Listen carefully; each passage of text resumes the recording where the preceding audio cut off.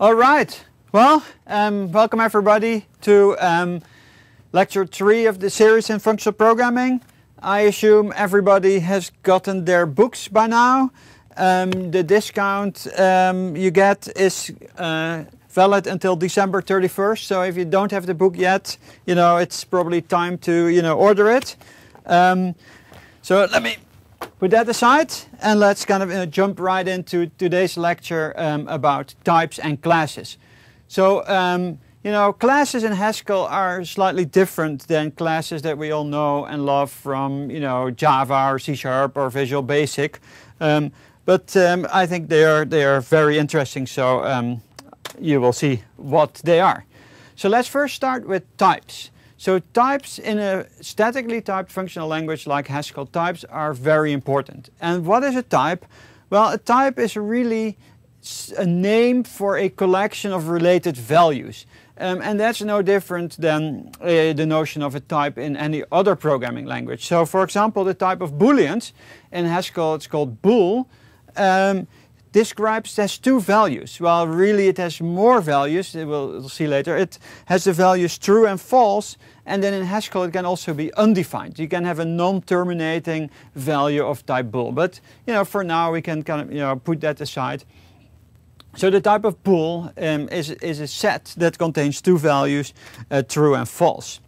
Um, and why do we want to have types? Well, um, you want to have types such that the compiler can point at errors in your program. For example, if you write, you know, the, the program that we see here, 1 plus false, well, since 1 is a number and false is a boolean, you cannot really add them. So um, the compiler will tell you um, that, you know, there's a type error.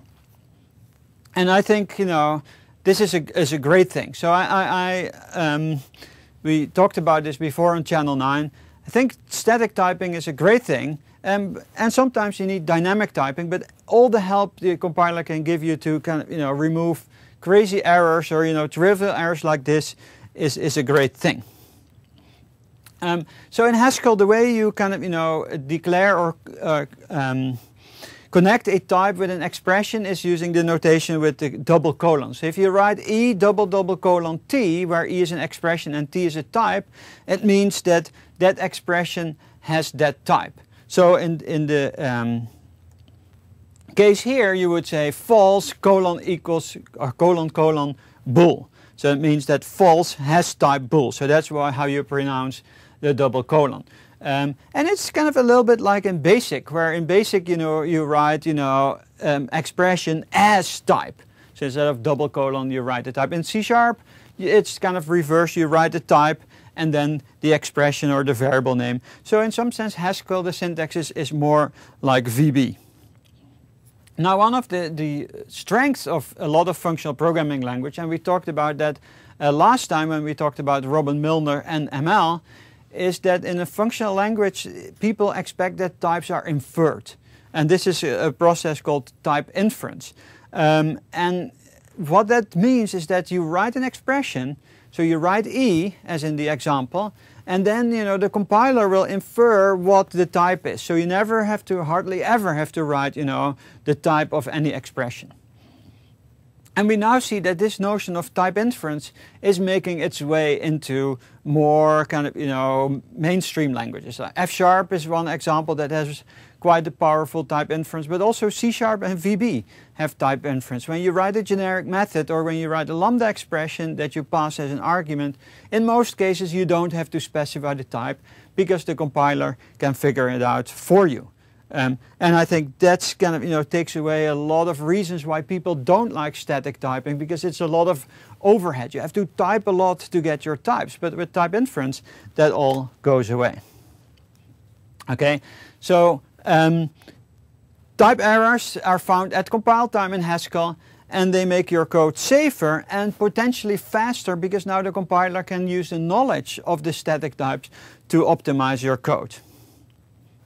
Um, and um, so uh, here's like an example when you write not false, that evaluates to true, and then you can ask for its type and then it will tell you that's a boolean. So just like every language, you know, um, there's a base class library of types. So um, like in C Sharp or Java or VB and .NET, you have um, types like string, int, double, float, things like that. And similarly, Haskell has a, a number of base types too. Um, they are have bool, character, strings, integers, um, two types, right? We talked a little bit about that last time. You know, arbitrary precision integers, uh, floating point numbers. Um, one interesting thing is that strings in Haskell are really nothing more than abbreviations for lists of characters. So there's no kind of special string type. It's just an abbreviation, an alias for, for um, a list of strings. And so what is a list? Well, a list is a sequence of values that all have the same types. Very similar to um, what we know in, in um, an object-oriented language that has generics. So list of t is a list, a sequence of values, all of type t.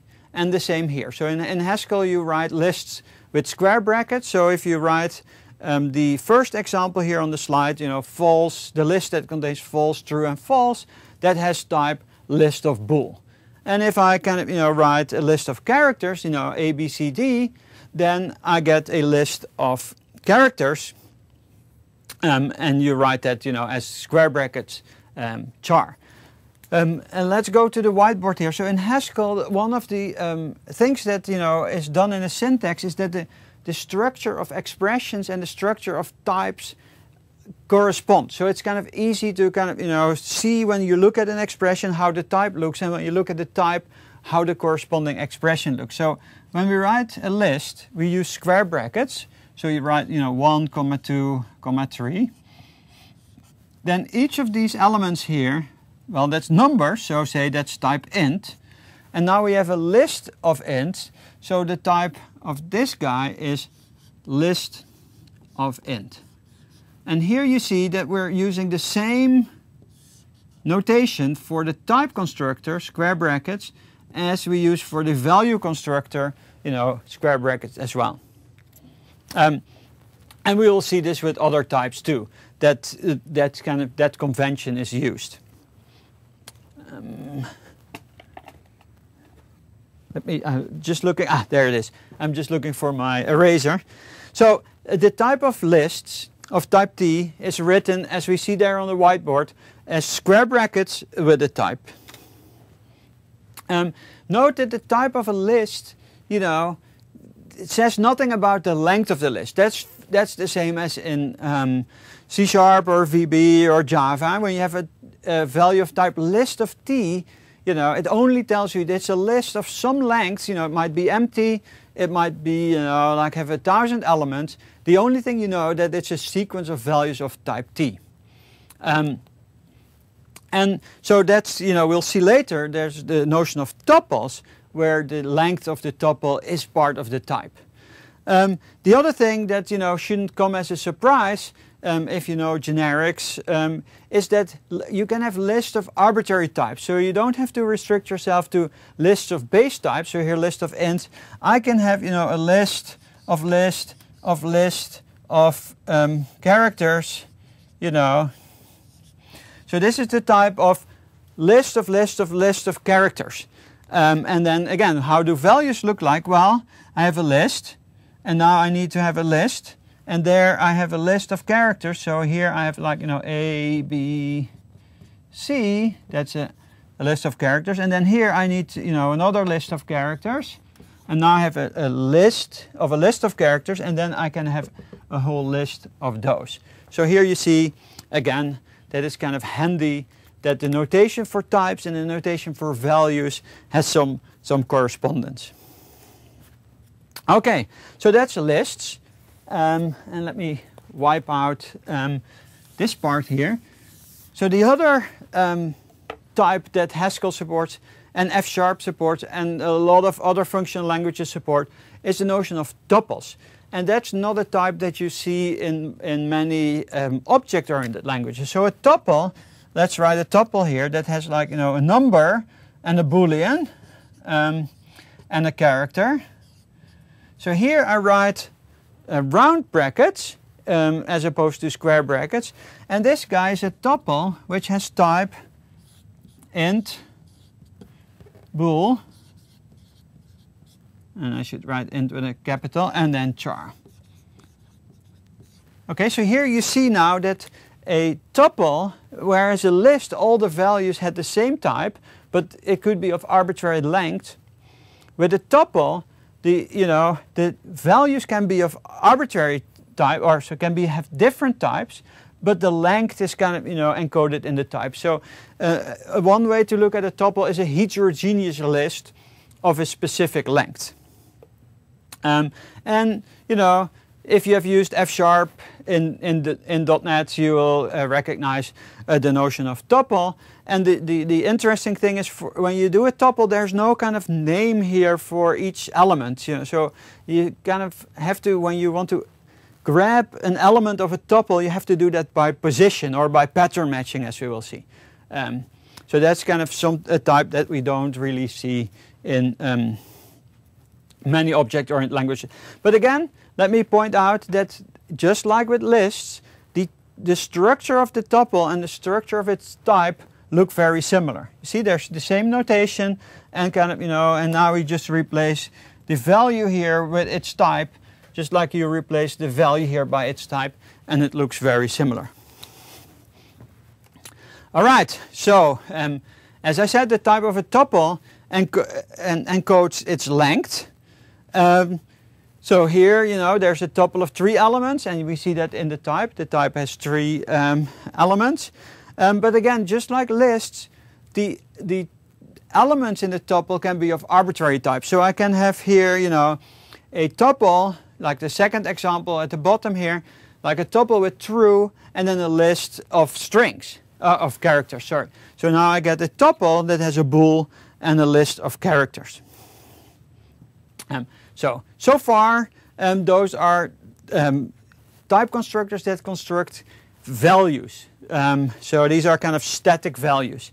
Um, of course we want to do computation, so what, how do we do that? Well, in Haskell, since it's a functional language, we use functions. Um, and a function is like a method, so it's a mapping that takes, you know, some arguments of some type and computes a value of another type. So here are two examples of, of how we write the type of a function. So the first one is not. So not takes a bool and returns a bool. And the other example is digit takes a character and returns a bool that says, you know, whether that digit is, uh, whether that character is a digit or not. So in general, the type of a function we write like, you know, um, let's see what they have here, like T1 arrow t2. And so how do we now write the value for a function? Well, again, you know, based on this thing, you would expect that the way you write a function is you write an argument, say x, which is something of type t1.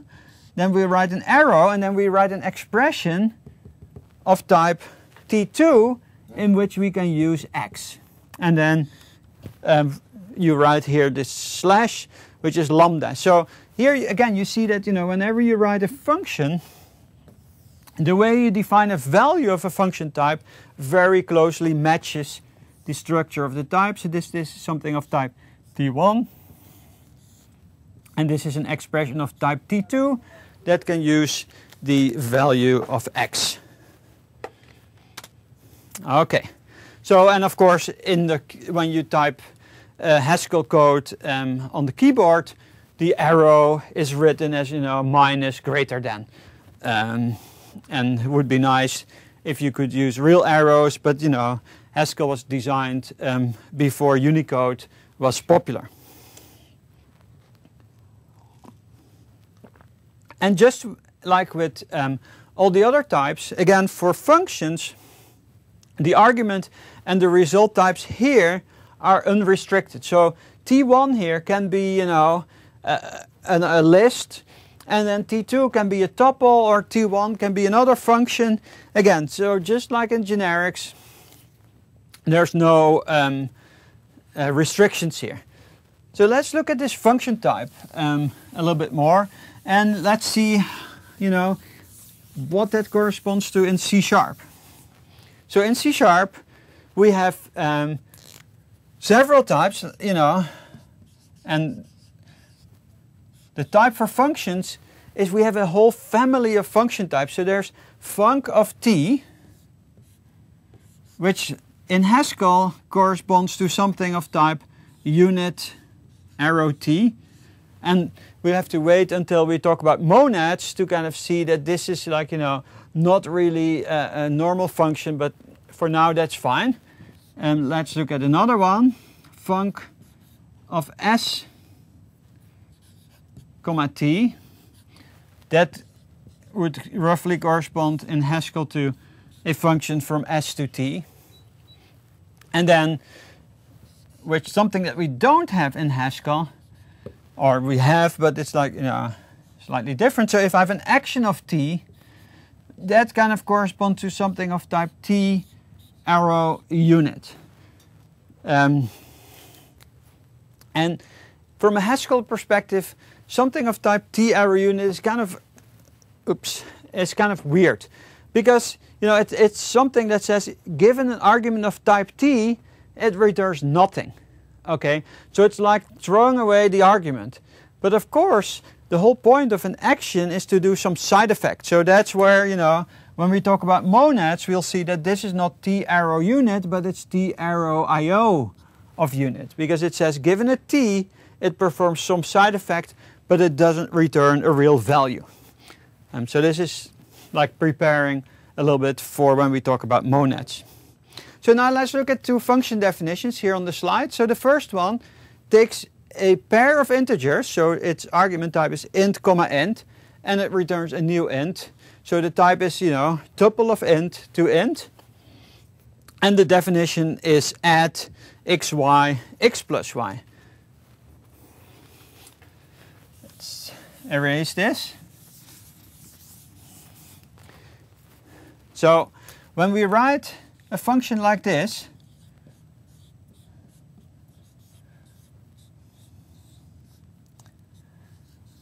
the compiler infers the type from this. From here it sees that, you know, I'm using addition, so I'm, I'm using numbers, and from here it sees that I'm using a pair.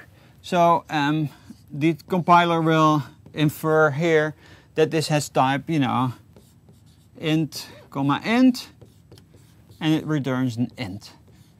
Another way to write this function here is to write it as a real function. You say add, well, that is a function that takes a pair and it adds the two up. So, so these are, you know, two ways to write the same definition. So in, in Haskell you can kind of, you know, move the arguments kind of, you know, back and forth between the lambda on the right hand side and um, to the left of the equal sign there.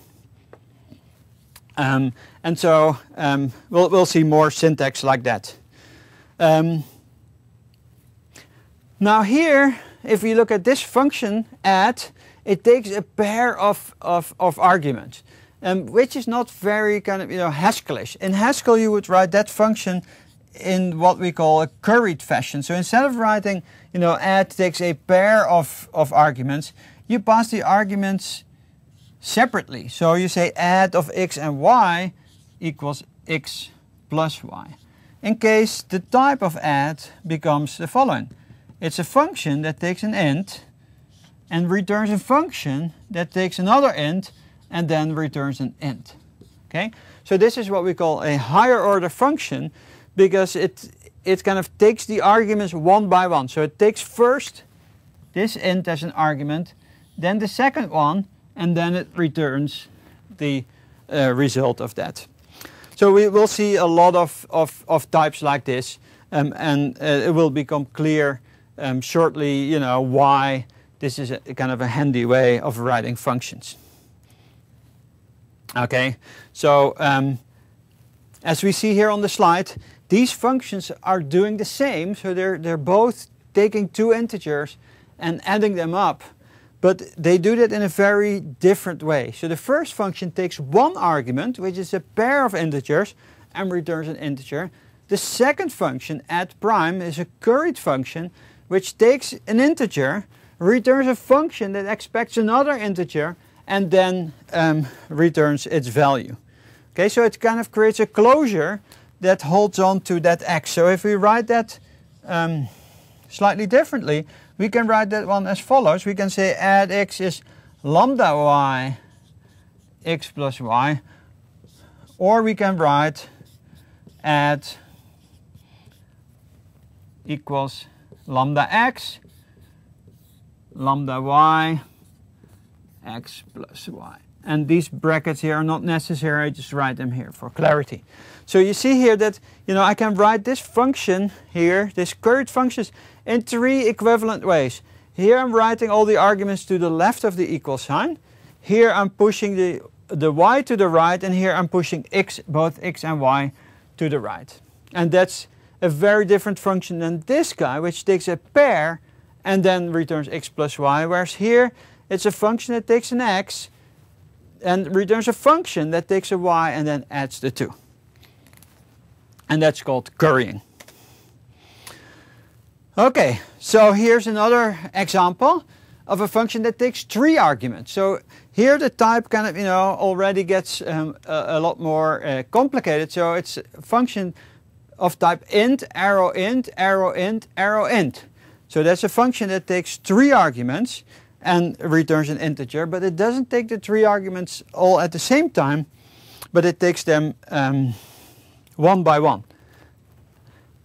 Now, it's we talked in the previous lectures a little bit about syntax, why you know Haskell takes um, a particular approach to syntax.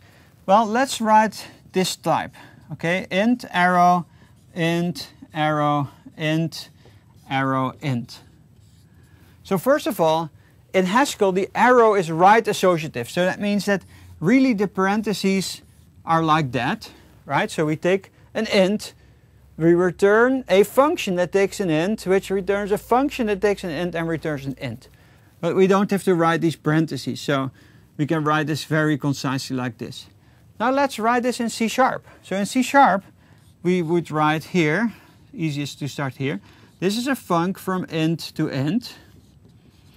And now we have a func from int to a func of int to int. And then we here we have a func of int, comma. So now you can see, well, in, in C sharp, this type looks kind of, you know, super complicated, right? There's like, you know, func, func, func, and like lots of um, angle brackets. Whereas in Haskell, it looks very smooth. It's just like, you know, int, arrow, int, arrow, int. So again, if you're using a lot of higher order functions, as I said, you want to, to um, give the operator that you use most the kind of least you know, amount of noise, of syntactic noise. So in Haskell, since it's a functional language, we're using the function um, type a lot. So it's kind of heavily optimized. The syntax is heavily optimized to write these function types. And that's when you see what you see when you compare that to the equivalent uh, C sharp code. Okay. So I, I, I said, why are we using these curried functions? Why are we doing this complicated thing of functions that return functions? Well, the thing is that you can do something that's called partially applying. So when you have a function like this, you like let's call this thing f. You can apply this thing to another argument. So I can say I can do f of 5. I give it the first argument. So the result of this is something that takes an int and another int and returns an int. So I've kind of created a closure that has captures the captured the first argument. And you can do that the same in C Sharp. But in Haskell again, because it's so lightweight, this is what you often do. You kind of you know take a, a function that's curried and you apply it um, with some arguments, which gives you another function that you can pass around um, to do that. Okay. So as we said, you know the function uh, function um, type operator associates to the right.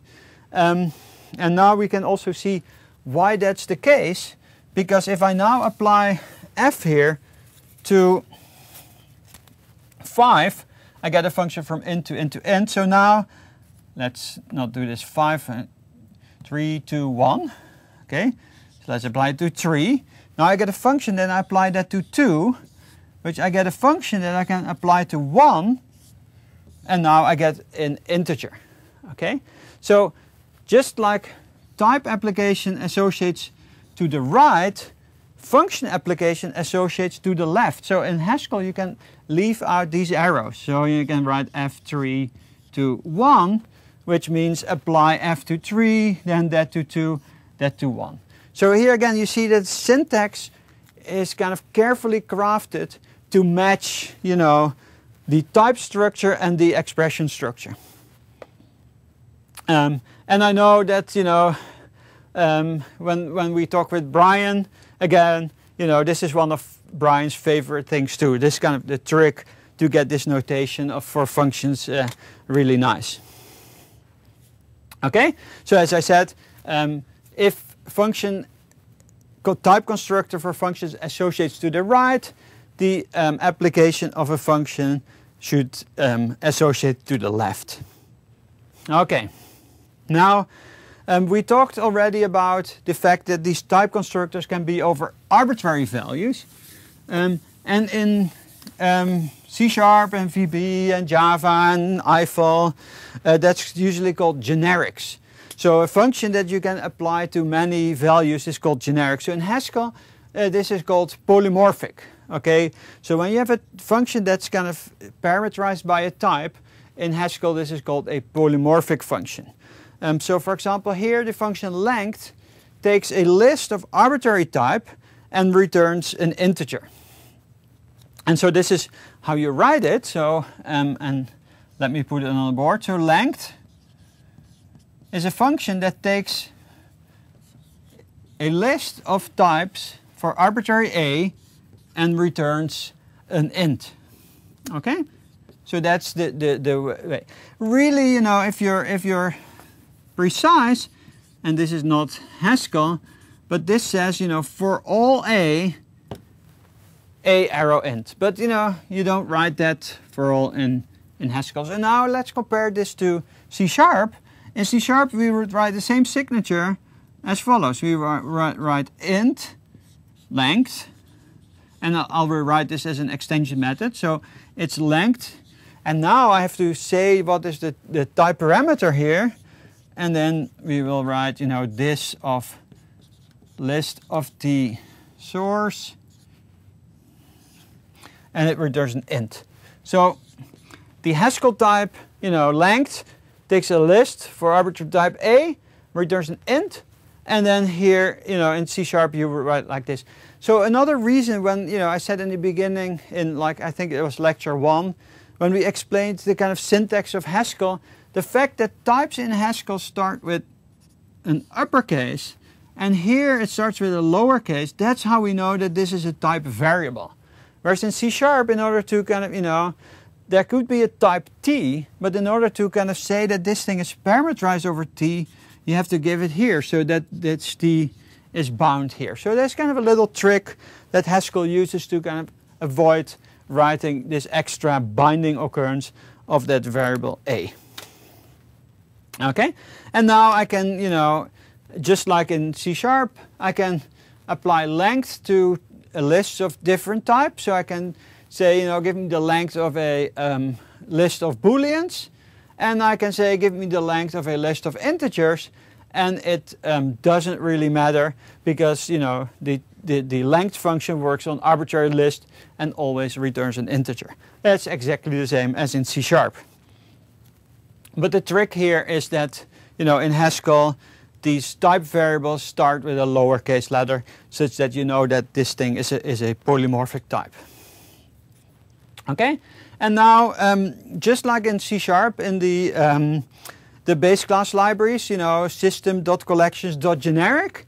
In Haskell, most of the um, functions in the standard library are also polymorphic or generic. So for example, um, here are a couple of, of examples from the um, uh, prelude, the Haskell prelude. The function first takes a pair of arbitrary types A and B and returns a value of type A. So you know, what can that function do? Well, it takes a pair and it returns the first element of the pair.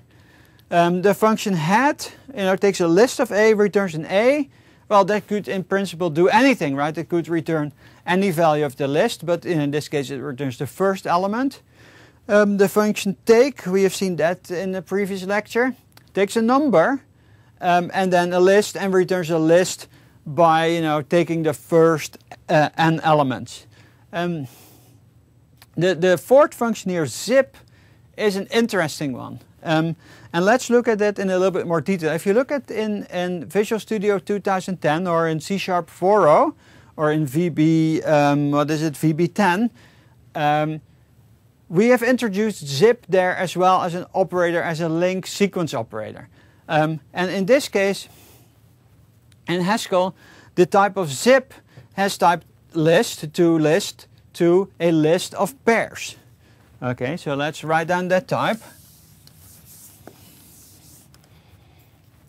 So zip is a curried function that takes a list of A, returns a function that takes a list of B's, and then returns a list of pairs of type A and B. Okay, so there's two interesting things going on. First of all, it's a curried function, so it doesn't take a pair of lists, but it takes, you know, two lists in a row and then returns a list of pairs. Okay, so a nicer way, I think, to write that function would be like this.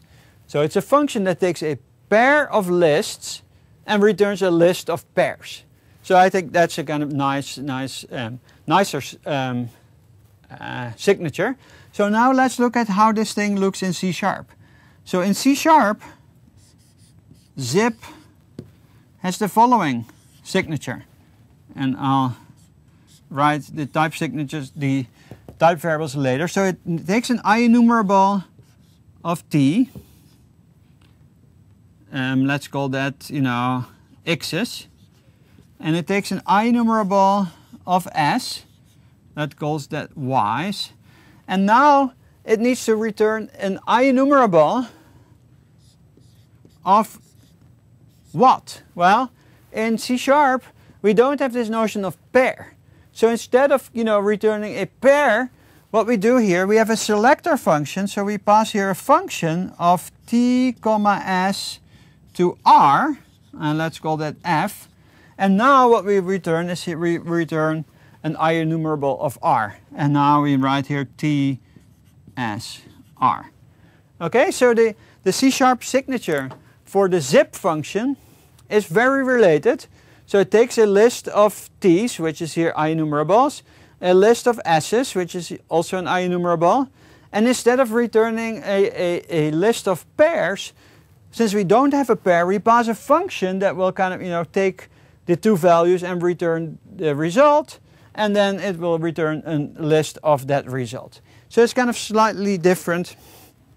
And this is a trick that we often use in C Sharp. Since we don't have tuples, whenever we need to return a tuple, or where we would return a tuple in, in Haskell or in a functional language, in C Sharp you pass instead a function which is like the constructor function for a tuple. So instead of passing, you know, like implicitly returning a tuple, you just pass a function that takes a tuple as an argument and will do the, the already kind of reduce that tuple into a value.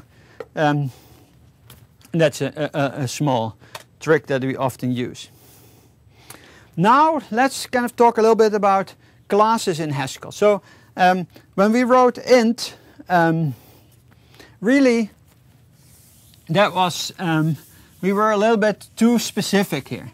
So let's look at another type here. So that's um, sum, which takes a list of things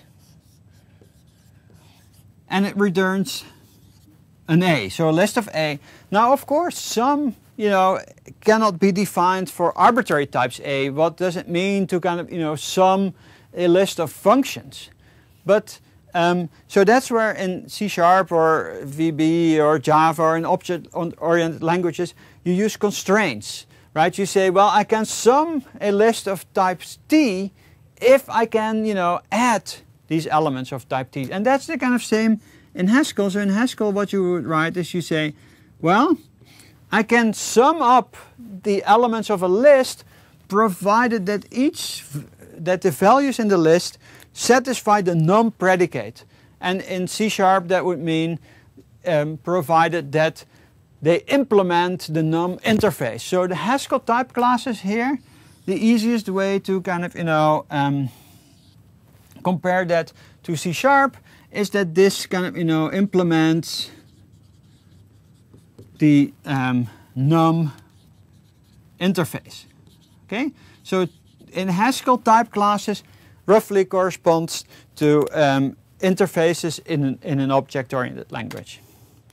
Um, so now I can write, you know, sum of uh, integers. I can write uh, sum of floating point numbers because both integers and floating point numbers both, you know, implement the um, numeric interface, but I cannot um, sum a list of characters. Um, which is kind of different than in C Sharp where characters are just small integers. You can cast them here, they're completely a different type. Okay, so Haskell comes with a couple of built-in um, type classes or interfaces. Um, num is the kind of, you know, um, the uh, most interesting one.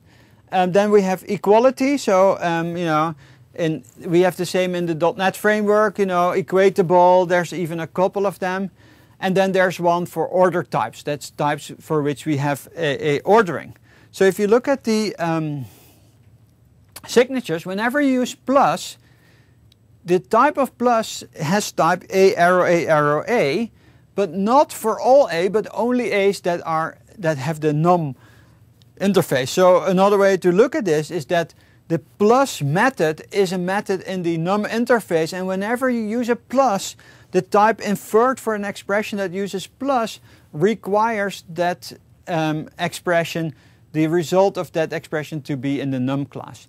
And the same with equality. Whenever you use equality, from that constraint there, that is EQ of A, it will require that, you know, that value of the arguments is in the uh, uh EQ class. And the same for Ord. Okay, so um, let's um, look at some more examples um, and how we do this type um, inference and so on in, in Haskell. So usually when you're kind of, you know, define a function in Haskell, just like in C Sharp, you start by writing down its type. Okay?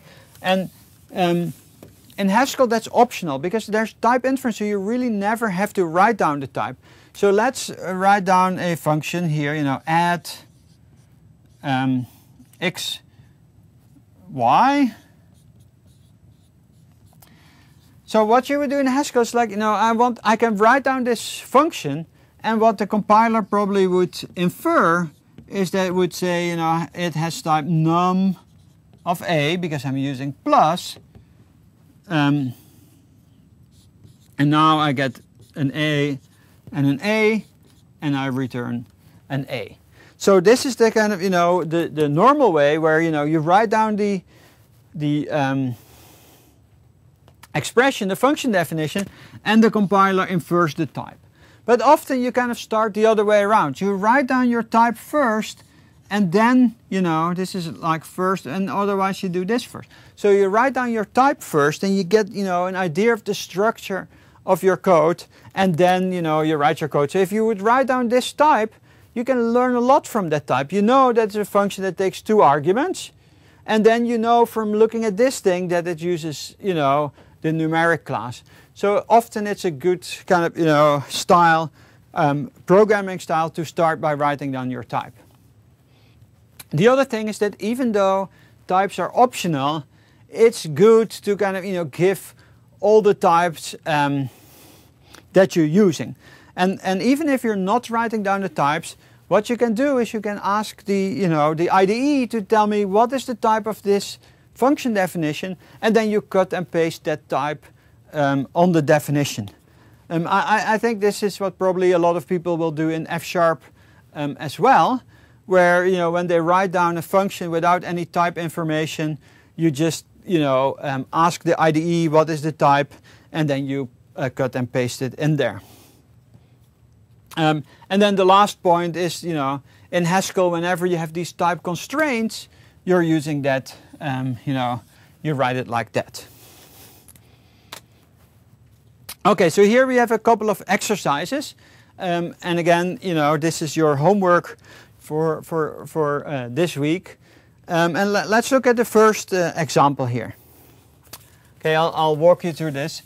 Um, because just, you know, playing your own um, type inference, um, you know, implementing the compiler yourself is a good way to, to look at your code. And again, this is as helpful when you're using C Sharp or VB.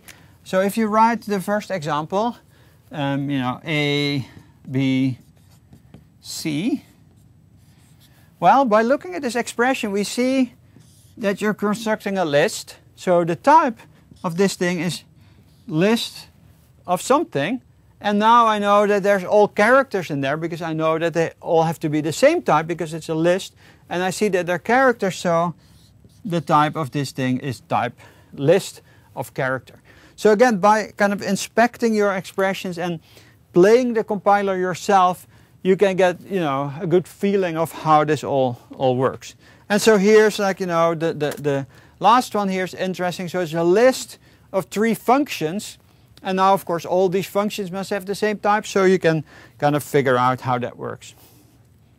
By the way, um, in C Sharp, when you write this, you can, this corresponds to array initializers, where you could write something like, you know, and again, in C Sharp, you don't have to write the type, but the compiler will infer, because you're using characters here, that the type of this is char array. So you see that you know there's a big correspondence to, to the way you write expressions and types in C Sharp and in Haskell. It's all kind of about type inference. And by kind of understanding better how type inference works, you be, will become a better programmer. You kind of get more grip on your code. Um, so there's a, a, couple of more exercises here where we give functions, so not types of um, expressions, but you know a couple of functions. And again, uh, I would really uh, urge you to kind of you know install Hugs or GHCI and kind of play around and see how the compiler you know infers these types for you, um, and then you know you don't have to write them down yourself. Uh, the same you can install F sharp F sharp has a very similar um, type inference mechanism. And then just for fun, write these functions in C sharp as well and see, you know, what are the types that you have to write down there. So that was, was it for today. Um, you know, we're kind of making our first little steps into writing some actual programs. And I, I hope you've seen how, you know, a lot of the ideas of functional programming, type inference, um, lists, tuples, and so on are making their way in, in you know, more mainstream languages. Um, and one of the things here is that uh, um, type classes. Uh, we'll talk a little bit more about that in future uh, lectures where I will make the connection with uh, interfaces more precise. So thank you very much. Um, you know, make your exercises, um, be active on the forums, and we'll see you next time. Thanks you, thank you very much.